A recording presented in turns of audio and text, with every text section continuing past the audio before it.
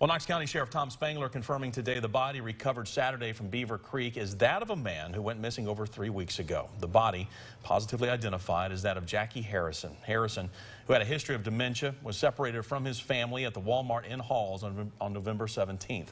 And we followed his story for weeks as members of the community joined together in the search for Harrison. Today, Sheriff Spangler releasing a statement saying in part, quote, to the family and friends of Mr. Harrison, words are inadequate for your loss. On behalf of my family and our Knox County Sheriff's Office family, we send you our sincere condolences and heartfelt prayers.